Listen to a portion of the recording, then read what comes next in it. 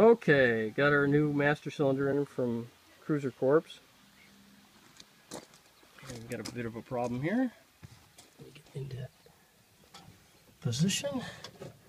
You know, we put fluid into it first, let it sit there, and didn't connect the uh, didn't connect the line up, and it started bleeding almost instantly on this side without any pressure being attached to it.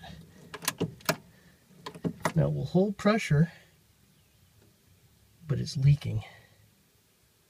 So I'm not exactly sure what to do about that because you can see how it's starting to drip again, which obviously it should not be dripping at all. I was hoping it would seat itself, but it does not look like that's going to be happening.